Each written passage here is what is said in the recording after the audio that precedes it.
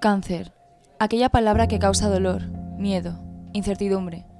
Aquella que en un solo concepto es capaz de englobar multitud de emociones, de historias. Cáncer. El cuerpo humano está formado de trillones de células. Las células crecen y se dividen para formar otras nuevas a medida que el cuerpo las necesita. Cuando las células normales envejecen o se dañan, mueren, y las células nuevas las reemplazan. Sin embargo, en el cáncer este proceso ordenado se descontrola. A medida que las células se hacen más y más anormales, se multiplican y forman tumores. Para muchas personas, el cáncer es una enfermedad ajena, pero ¿te has preguntado alguna vez cómo reaccionarías si supieras que lo padeces? Para Kibler-Ross, psiquiatra y escritora suizo-estadounidense, una de las mayores expertas mundiales en muerte, la respuesta era muy clara. Un paciente pasa por una serie de fases hasta la aceptación, negación, ira, negociación, depresión y aceptación. Asimismo, se dice que la verdadera cura contra el cáncer es la actitud con la que uno se enfrenta. Según Alport, una actitud es un estado de disposición nerviosa y mental organizada mediante la experiencia que ejerce un influjo dinámico directivo sobre las respuestas que un individuo da a todos los objetos y situaciones con que ella está relacionada. Ahora, según Beckler, una actitud se conforma por tres componentes, el cognitivo, el afectivo y el conductual. El componente cognitivo se refiere a las ideas y creencias sobre el objeto de la actitud. El afectivo se considera el componente fundamental de la actitud y hace referencia a las emociones que produce el objeto de la actitud. Y el conductual a la acción respecto al objeto de la actitud. Las actitudes condicionan nuestra percepción de la realidad y por lo tanto nuestra forma de responder ante una situación determinada. En la situación de recibir un diagnóstico de cáncer, el enfermo reacciona de un modo u otro en función de sus actitudes previas ante dicha enfermedad, entre otros factores. Muchos sentimientos son los que rodean la mente en esos momentos. Agobio, negación, enojo, temor, tristeza, soledad. Pero hay dos de ellos que nos hacen seguir caminando y luchando, la gratitud y la esperanza. El sentimiento de gratitud hace que las personas vean el cáncer como una llamada de atención. Se dan cuenta de la importancia de disfrutar de las cosas pequeñas de la vida. Puede ser difícil al principio, pero siempre hay motivos para salir adelante. Por otro lado, la esperanza son las ganas de vivir. Una vez que las personas aceptan que tienen cáncer, a menudo sienten esperanza.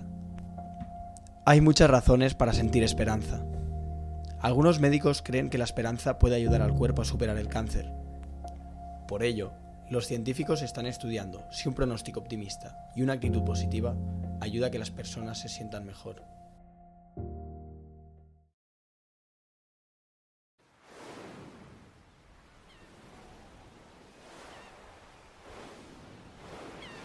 Uno de los casos más emblemáticos en cuanto a este punto de vista del cáncer es el caso de Pablo Raez. Tal vez ya le conocéis. Pablo es una persona que pasó a ser un fenómeno mundial, por su esperanza, sus ganas de vivir la vida y el mensaje que transmitió, siempre fuerte. Su historia ha tenido mucha repercusión por la manera en la que afronta su enfermedad. Ha transformado el miedo en esperanza, y aunque en ocasiones sus lágrimas se han derramado por sus mejillas, Pablo se ha repetido una y otra vez, soy un gladiador. Era consciente de lo que se le venía encima, pero sabía que no debía rendirse. Ya no solo por él, sino por todas las personas que habían empezado a confiar en ellas mismas y en su recuperación gracias a él. Como expresa Siegel, la enfermedad representa un reto muy grande, pero no invencible. El paciente tiene una base para defenderse, por lo que se ha planteado que lo ideal sería que el enfermo considerara el cáncer como un reto más en la vida y no como una derrota. Pablo tenía ese pensamiento muy claro. El cáncer no es una enfermedad, es un aviso de la vida, y cada uno lo interpreta como sabe y puede. También os lo digo a vosotros, jamás os rindáis. Podéis hundiros, caeros, haceros daño, pero siempre levantaros, mirad hacia adelante y a cumplir sueños. Pero, ¿por qué Pablo consiguió llegar a tanta gente? ¿Qué fue aquello que marcó la diferencia entre tantas otras historias? Su historia se hizo viral a través de las redes sociales por relatar su día a día con todo tipo de detalles, pero siempre con dosis de positivismo.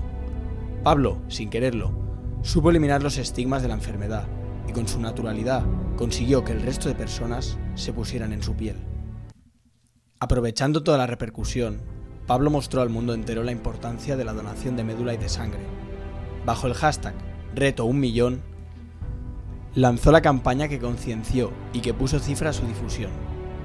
Vamos a conseguirlo, aseguraba Raez.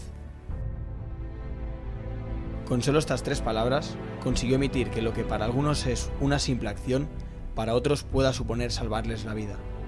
Compartió la importancia que tiene el altruismo, la fuerza, la lucha y las ganas de vivir. Supo romper barreras entre la enfermedad y el enfermo, y acabar con los prejuicios que las personas pueden tener de las donaciones. Su lema, siempre fuerte, aún vive tras dos años de su muerte. El malagueño, sin ser consciente de ello, se convirtió en un símbolo de lucha. Pablo era de esas personas que tenían que dar un mensaje en el mundo. Ha podido llegar al corazón de mucha gente y ha hecho historia en España con la donación de sangre y médula. El optimismo fue la fuente de energía de Raez y la razón por la que su mensaje llegó a tanta gente. Tocó lo más sencillo de cada uno de nosotros, su secreto, que Pablo compartía un deseo común a todos las ganas de vivir la vida, de disfrutarla, de sentirla. Y nos recordó que bajo ninguna circunstancia debemos dejar de hacerlo. La muerte no es triste, lo que es triste es no saber vivir.